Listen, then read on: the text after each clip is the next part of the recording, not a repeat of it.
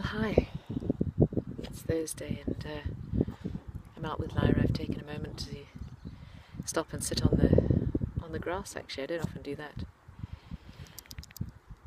and just think about a few things that are well, going through my mind. It's a sad day um, in a number of ways. Uh, a very dear friend um, lost his life today. Uh, he'd been battling prostate cancer for a good number of years, and um, today was the day that uh, the wonderful Joe Maiden stopped looking after gardens on Earth and has uh, gone to look after gardens in the wider, wider universe. He was a very special man, and I'm, I'm very, very grateful to be able to to call him a friend. Um, we had a number of uh, dealings together and discussions, and uh, he was lovely, absolutely beautiful, wonderful man, gorgeous family, and uh, yeah, very special. And at the same time, um, a very close friend, um, Marcel, is is in hospital in Preston with his family around him, struggling to hold on to his life uh, he had a stroke on Monday, and um, it's not been good. Uh, he it was a severe stroke, and he's uh, he struggled. He's had um, an operation on his brain to remove some pressure, and um,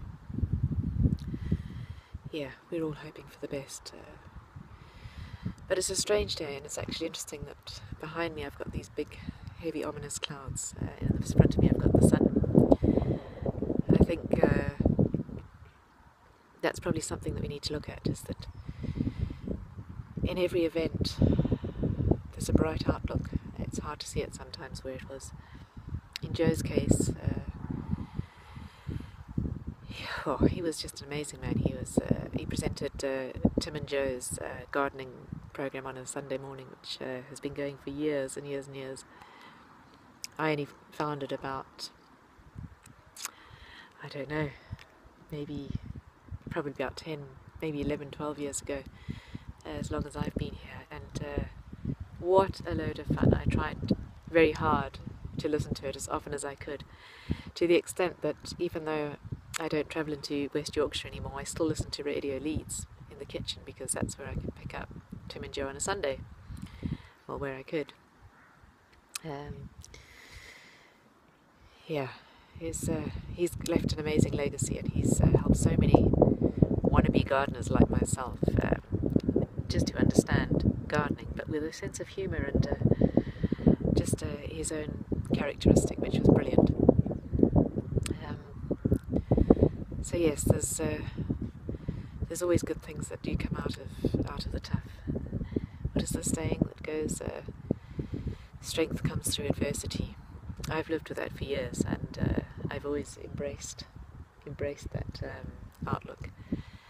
Um, yeah, and I suppose it's a it's a sad day, um, but at the same time, it's a it's a day to really remember the good times and the good things.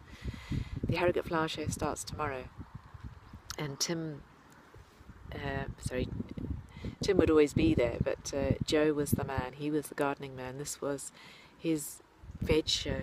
Uh, he always had the most amazing exhibit of vegetables, and uh, he was Mr. Veg Man. Did his talks, had his displays, was always accessible, and uh, it was. It's one of two times in the year when I knew I would get the biggest of big hugs from from Joe.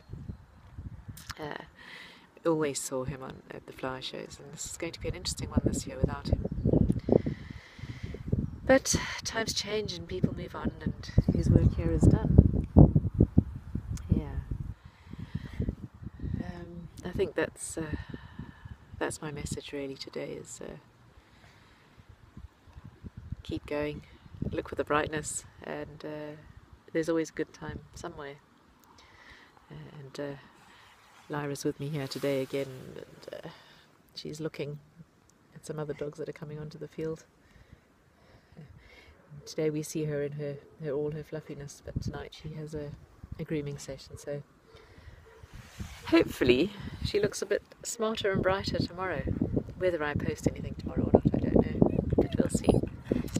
Um, blessings and to everybody who's struggling with some sadness and uh, challenges. Change your perspective if you can. Have a look at the good things that have come out of it or what you can remember on the bright side and um, have a good day. Love to all.